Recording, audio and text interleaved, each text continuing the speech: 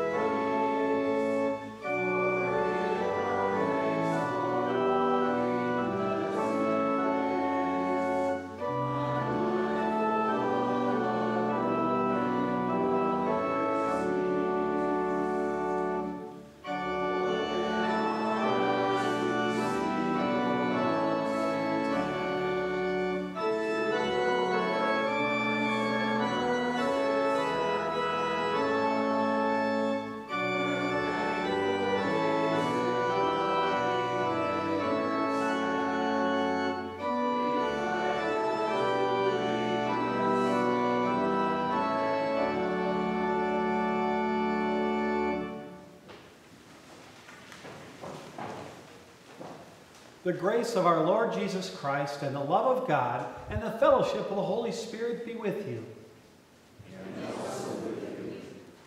We have come into the presence of God, who created us to love and serve him as his dear children.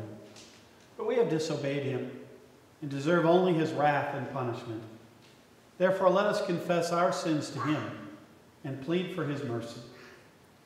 Merciful Father in heaven, I am altogether sinful from birth. In countless ways I have sinned against you and do not deserve to be called your child. But trusting in Jesus, my Savior, I pray. Have mercy on me according to your unfailing love. Cleanse me from my sin and take away my guilt. God, our Heavenly Father, has forgiven all your sins by the perfect life and innocent death of our Lord Jesus Christ. He has removed your guilt forever. You are his own dear child. May God give you strength to live according to his will. Amen. In the peace of forgiveness, let us praise the Lord.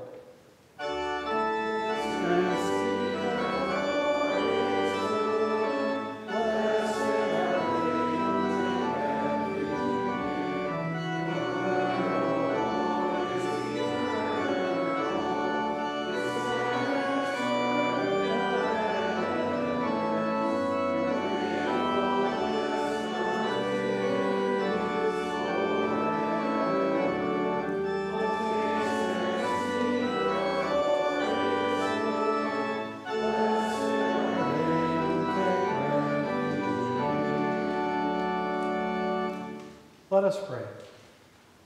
Lord Jesus, you revealed your Father's gracious heart to us by the life you lived for us and by the death you died for us. Grant that your gifts of encouragement, comfort, tenderness, and compassion will make us like you, O Christ, to our neighbor, so that they may always know your heart and rejoice that you live and reign with the Father and the Holy Spirit, one God, now and forever.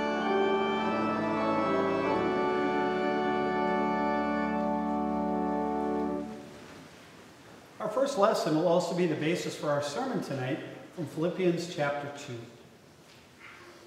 Therefore, if you have any encouragement from being united with Christ, if any comfort from his love, if any common sharing in the Spirit, if any tenderness and compassion, then make my joy complete by being like minded, having the same love, being one in spirit and of one mind. Do nothing out of selfish ambition or vain conceit. Rather, in humility, value others above yourselves, not looking to your own interests, but each of you to the interests of others. In your relationships with one another, have the same mindset as Christ Jesus. This is the word of the Lord.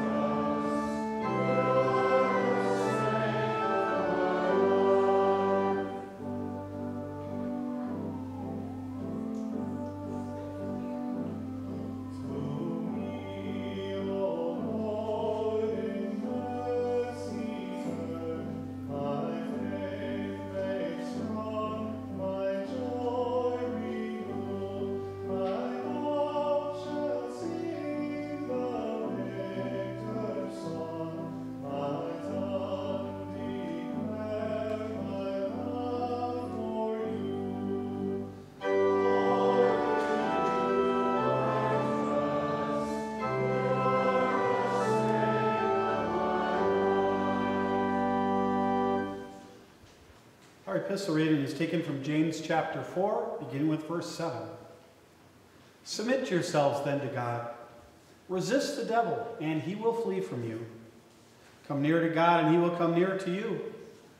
Wash your hands, you sinners. Purify your hearts, you double minded. Grieve, mourn, and wail. Change your laughter to mourning and your joy to gloom.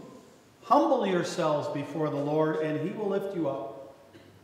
Brothers and sisters, do not slander one another. Anyone who speaks against a brother or sister or judges them speaks against the law and judges it. When you judge the law, you are not keeping it, but sitting in judgment on it. There is only one lawgiver and judge, the one who is able to save and destroy. But you, Who are you to judge your neighbor? This is the word of the Lord.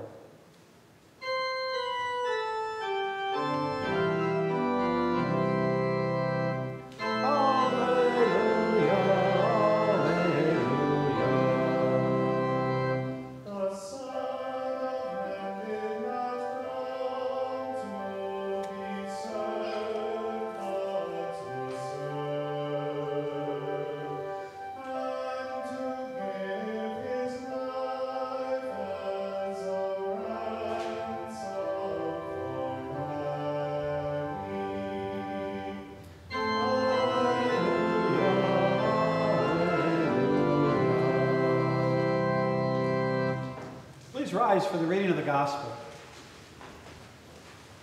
We hear the parable of the Good Samaritan in Luke chapter 10. On one occasion, an expert in the law stood up to test Jesus. Teacher, he asked, What must I do to inherit eternal life? What is written in the law? He replied. How do you read it? He answered, Love the Lord your God with all your heart, with all your soul, with all your strength, with all your mind, and love your neighbor as yourself. You have answered correctly, Jesus replied. Do this and you will live. They wanted to justify himself. So he asked Jesus, And who is my neighbor? In reply, Jesus said, A man was going down from Jerusalem too Jericho when he was attacked by robbers. They stripped him of his clothes, beat him, and went away, leaving him half dead. A priest happened to be going down the same road, and when he saw the man, he passed by on the other side. So to a Levite, when he came to the place and saw him, passed by on the other side. But a Samaritan, as he traveled, came where the man was, and when he saw him, he took pity on him. He went to him and bandaged his wounds, pouring on oil and wine. Then he put the man on his own donkey, brought him to an inn, and took care of him. The next day he took out two denarii and gave them to the innkeeper. Look after him, he said, and when I return, I will reimburse you for any extra expense you may have. Which of these three do you think was a neighbor to the man who fell into the hands of robbers? The expert in the law replied, The one who had mercy on him. Jesus told him, Go and do likewise. This is the gospel of the Lord.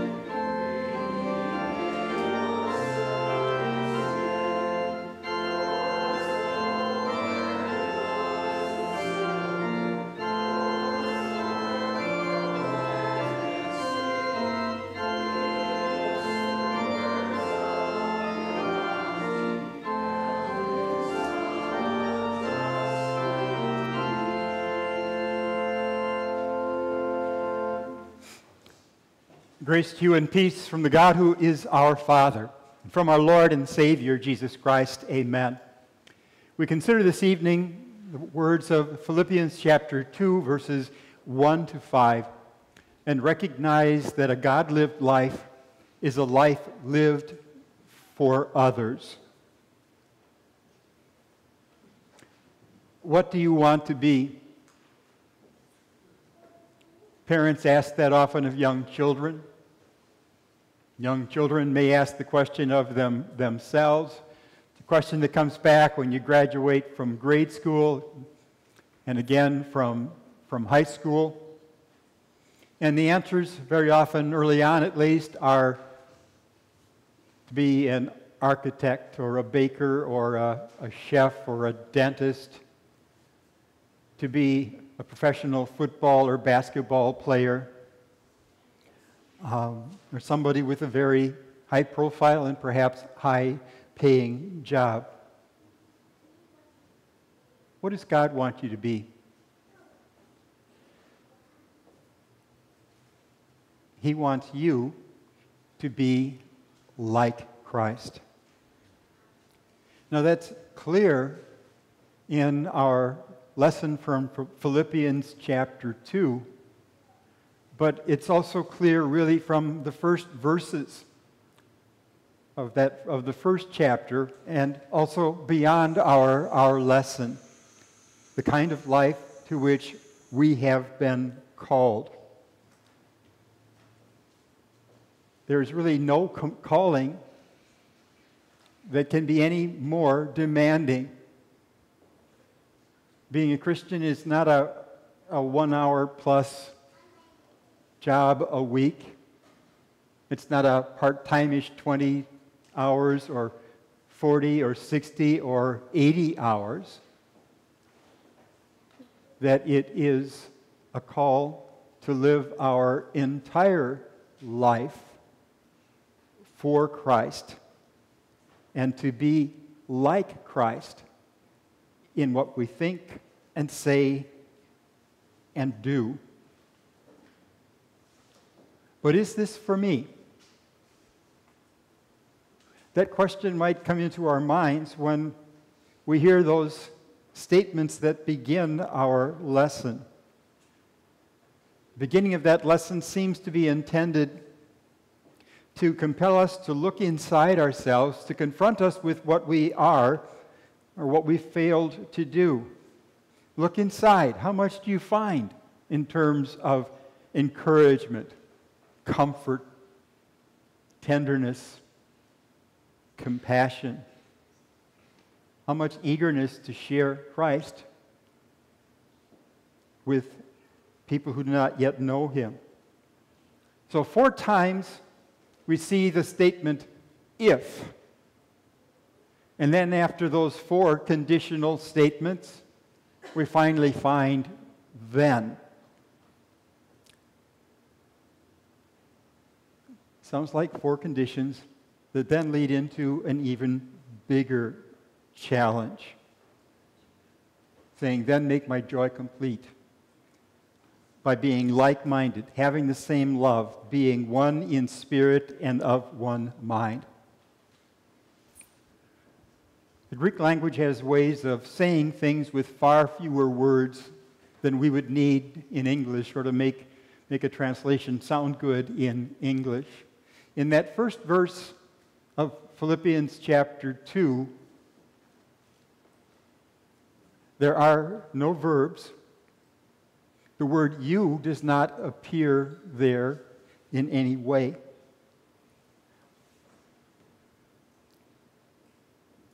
Here's how it starts out.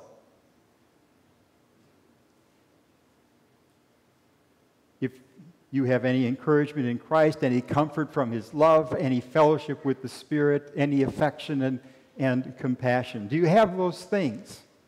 Do I have those things?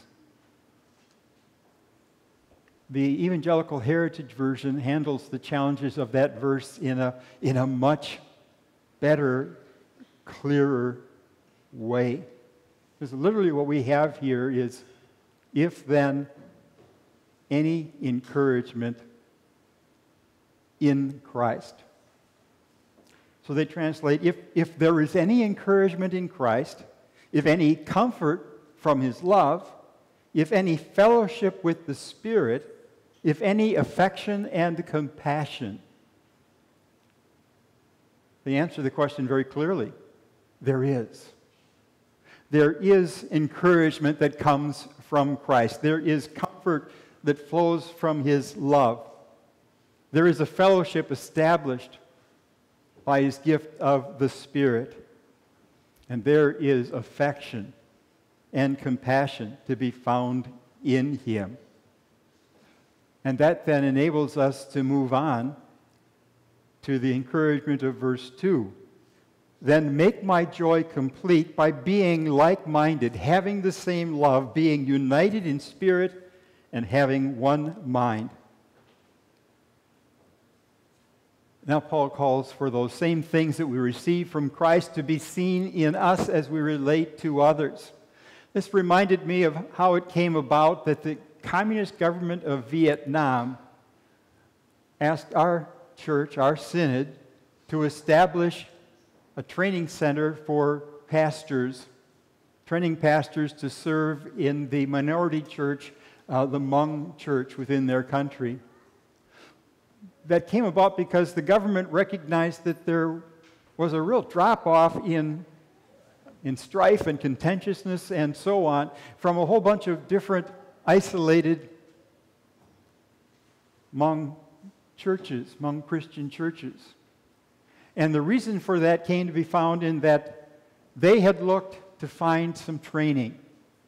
And they found a website from a WELS pastor who served the Hmong community. And so the government recognized the kind of unity, the kind of fellowship that was established by that distinctly Lutheran approach.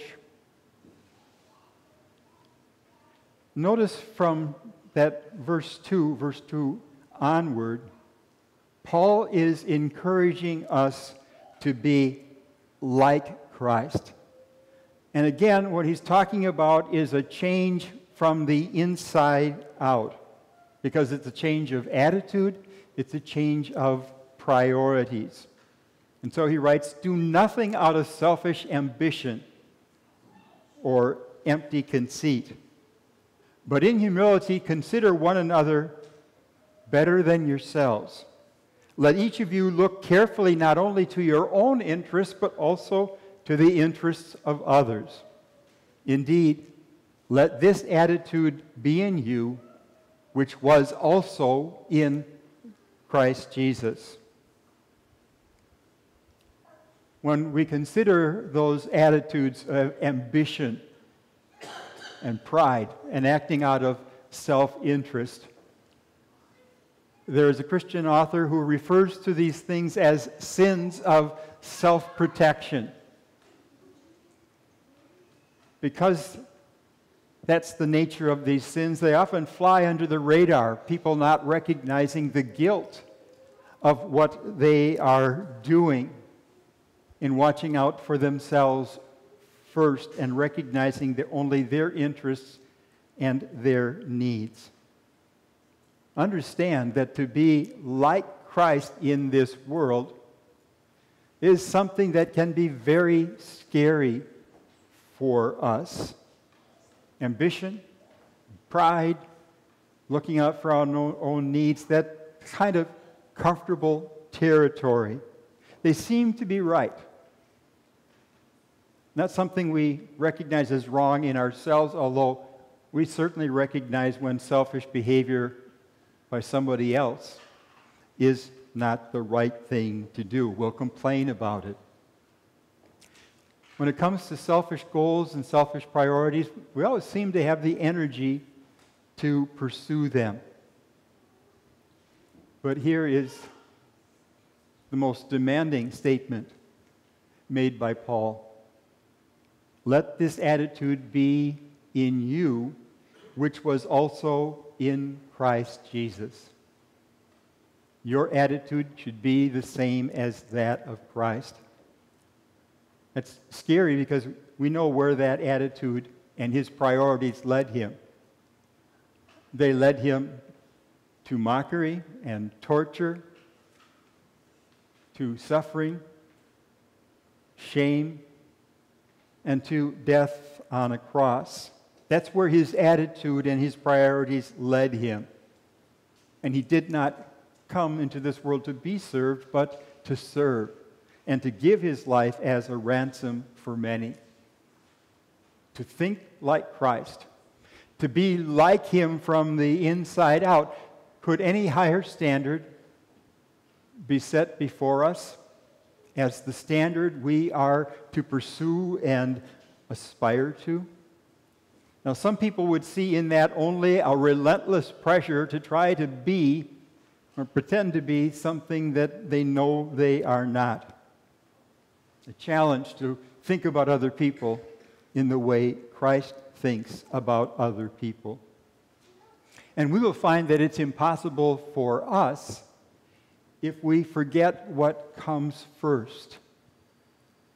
One can only be like Christ if one is blessed to know what Christ is like to do the things he did, only possible in the confidence of knowing what he did for us and for our salvation as our substitute and our Savior. You can't imitate somebody you don't know. And yet, Paul says, have the same mindset as Christ Jesus he goes on to say, who being in very nature God did not consider equality with God something to be grasped, that is, to be used his, for his own advantage, but that he made himself nothing by taking the very nature of a servant, being made in human likeness. And being found in appearance as a man, he humbled himself by becoming obedient to death, even death on a cross we are set free from a frightened, pressure filled pursuit of our own needs by meeting the Christ who is absolutely committed to meeting all of our needs for time and for eternity. And then he raises our sights as to what we are meant to be, what we were in fact created to be by calling us to live our lives for others, by calling us to live for the one who died for us and was raised again. So, who exactly are these others whom we are to serve? Is it a mystery like that young man did, asking, Well, who exactly is my neighbor? Well, but have you take the time to consider those characteristics of Christ's love that Paul begins with in verse 1. The kind of love that comes from Christ is characterized by encouragement, comfort, tenderness, and compassion. So his love is meant for those who are frightened, who are troubled, who are being treated roughly harshly by other people. That comfort is meant for people who, who suffer. Now, that kind of needs brings out the priest and Levite within us. That is, that when we see such needs, we want to kind of pretend that we haven't seen them. But in the very act of passing by on the other side, we, we make it evident that we've seen their need because we're trying not to be confronted by it. But we're called to something higher. The one thing that makes Christ's love so precious to us is that he sees us. He sees us. He sees our needs.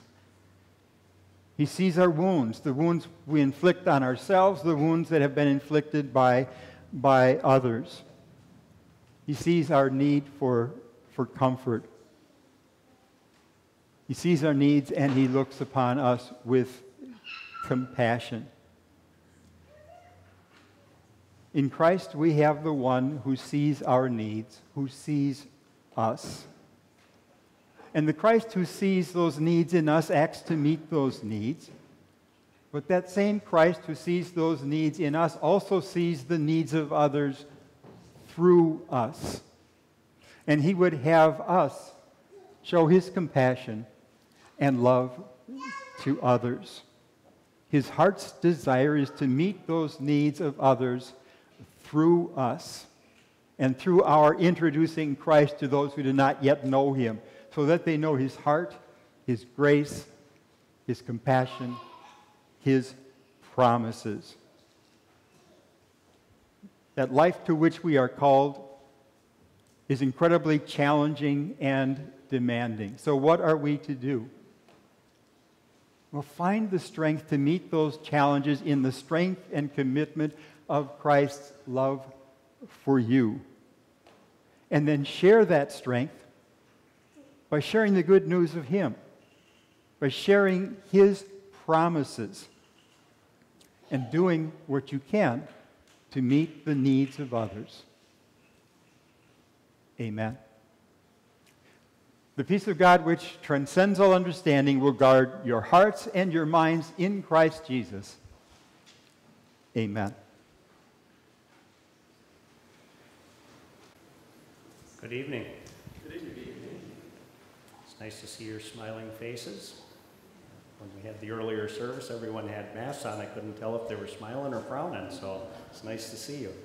Um, obviously, you've seen a great video and heard Pastor Paustian talk about living a life of service to others. Uh, last month, we had our focus on living the life of a disciple of Jesus and a challenge or two that we could challenge ourselves with. If you could, you should have a yellow insert in your bulletin. If you could pull that out. If you don't have one, I have some extras. Anybody need one? All good? We look at the front with the introduction and the um, beginning, which was Philippians 2, verse 1. Um, that was our sermon. And uh, I would skip down to just a little bit underneath where it had Philippians 2, verse 1. Um, if you could, maybe grab a pencil or a pen. Got a little spot underneath there where you could jot down some ways Jesus offers you comfort and encouragement. If you got a second and you want to think about it, I'll give you a second to maybe make a few notes.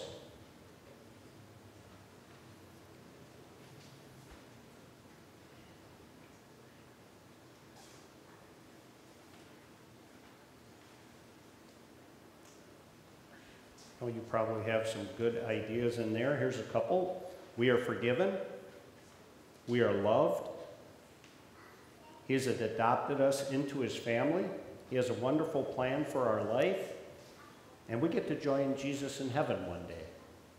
Um, just below that, what is one great way to thank Jesus for all that he's done for us? Well, we could pay it forward. Imitate Christ by reflecting his love to other people. And we can pray the dangerous prayer, Lord, use me. Now, what does it mean to have a dangerous prayer? It's not praying on the edge of a cliff or anything like that. But it means if you ask Jesus and our Lord to put opportunities in your path to help and serve others, watch out. When you pray that prayer, there's a good chance He's going to put some opportunities and some people in front of you that you can possibly have an encounter with. And you can reflect his love to them, just like the Good Samaritan did when he met the man on the road who had been robbed. There's two passages that are on here that when I was preparing with Pastor Hein, he had brought up, and I thought they had to be on here because the first one I thought was really interesting. It's We are God's handiwork, created in Christ Jesus to do good works, which God prepared in advance for us to do. And the second one, Colossians 4 or 5, be wise in the way you act toward outsiders. make the most of every opportunity. So, what does it mean to be present in the lives of others? Obviously, intentionally look for ways to listen, to care, and to serve. Pastor had another comment that he made that I thought was great. If our eyes are open and our hearts are in the right place, opportunities are going to come to us. And don't keep your light hidden under a bushel, let it shine. If you use the analogy, or if I could, of a sports team, if you think about being on a basketball team or a baseball team, if you're on the team, you don't want to be on the bench. You want to be in the game. You want to participate. You want to contribute. This is what Jesus is asking us to do in a service of life to others. So, if you remember from last month with living a life of a disciple, we had a challenge. We challenged ourselves. So, if you turn over the other side, there's a challenge card. And on that challenge card, you can see at the top, those are some of the points that were made in the video. But what steps will I take to present and live a life for others? There's some ideas in here for each of us to choose as a personal challenge to adopt and commit to. If we choose something from here and we sign it and we take it home, and just like last month when we asked you to put it on your refrigerator, that challenge of being a disciple of Christ, the same thing this time, if you could, put it right next to it or put it on your desk if you put the last one on your desk. If you missed the last one, this will be a new challenge for you. One of the things from the video last month was how do you stay focused on it? It's to a, one key thing was eliminating distractions or interruptions so that you can focus in on this challenge. So, living a life for others and being present, this is our challenge. I'll share one last thing. I got an email this morning.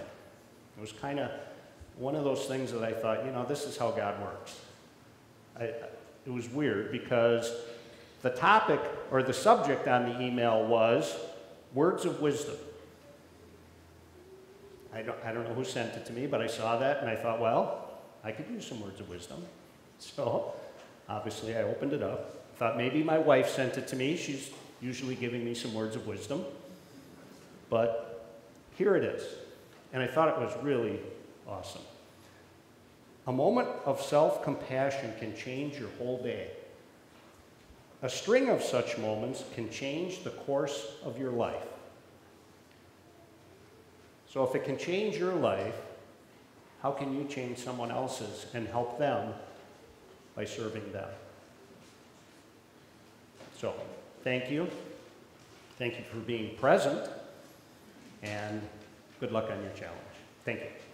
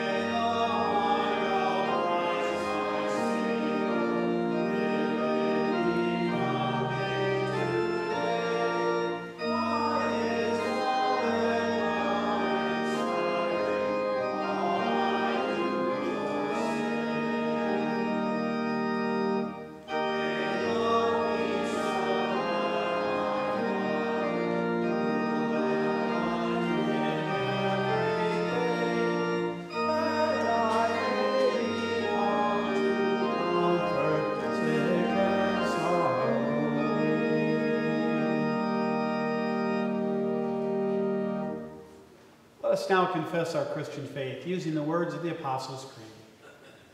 I believe in God, the Father Almighty, maker of heaven and earth. I believe in Jesus Christ, his only Son, our Lord, who was conceived by the Holy Spirit, born of the Virgin Mary, suffered under Pontius Pilate, was crucified, died, and was buried. He descended into hell. The third day he rose again from the dead. He ascended into heaven and is seated at the right hand of God the Father Almighty. From there he will come to judge the living and the dead.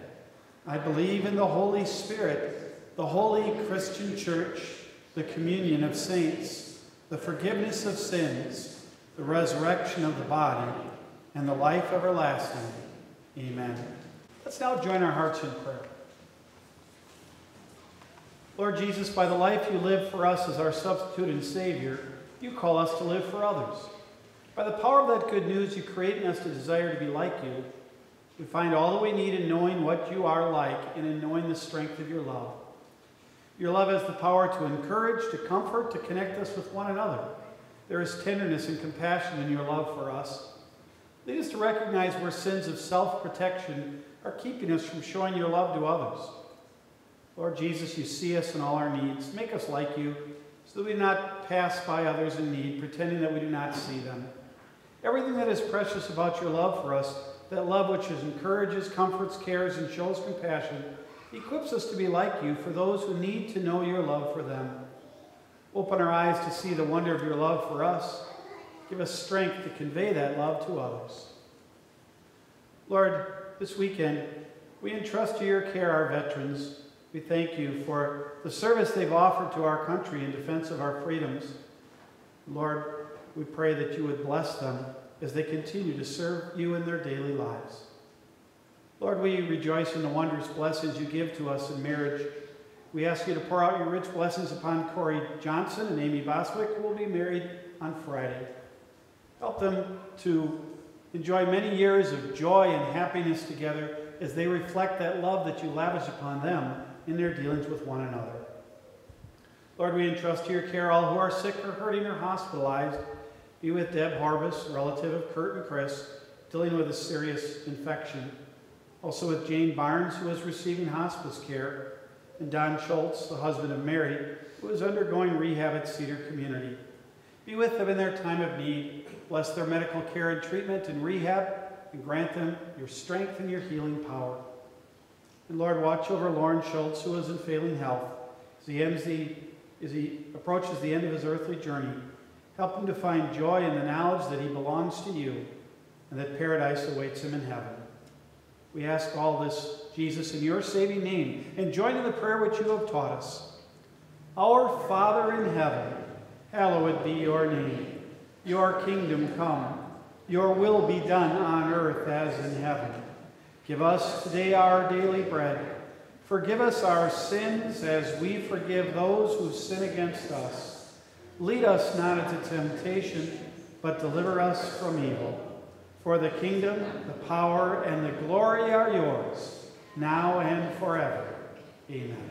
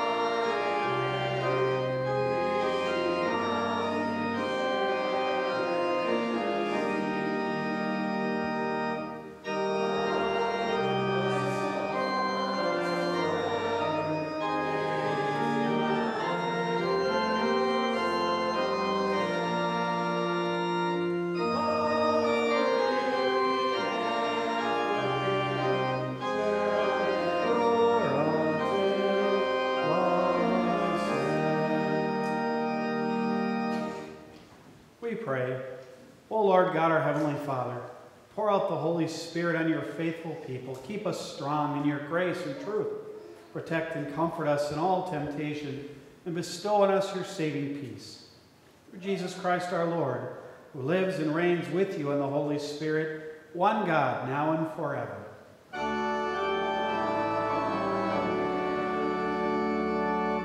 Brothers and sisters, go in peace.